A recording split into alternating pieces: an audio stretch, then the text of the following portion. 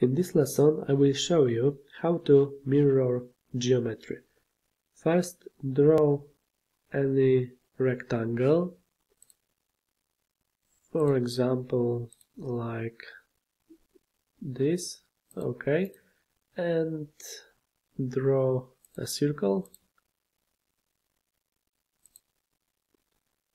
for example like this, okay.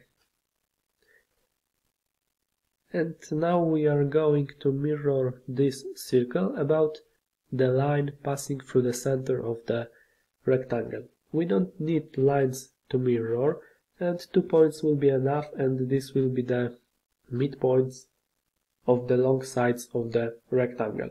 Okay, select and now from the modification tools select the mirror command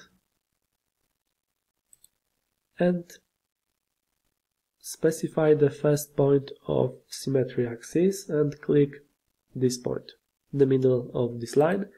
And now select the second point of symmetry axis and click on this point, the middle point of this line. OK, and here select Keep Original and click OK and this way you can mirror the geometry in QCAD.